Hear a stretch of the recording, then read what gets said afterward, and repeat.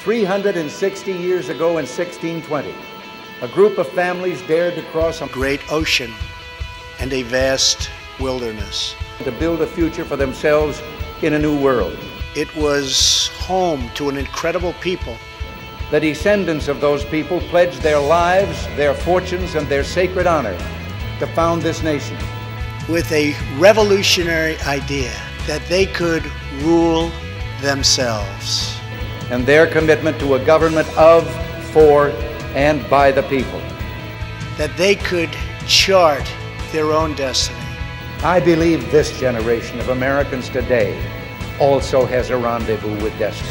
It was that same yearning for freedom that nearly 250 years ago gave birth to a special place called America. Isn't it once again time to renew our compact of freedom? That is what Americans have always stood for.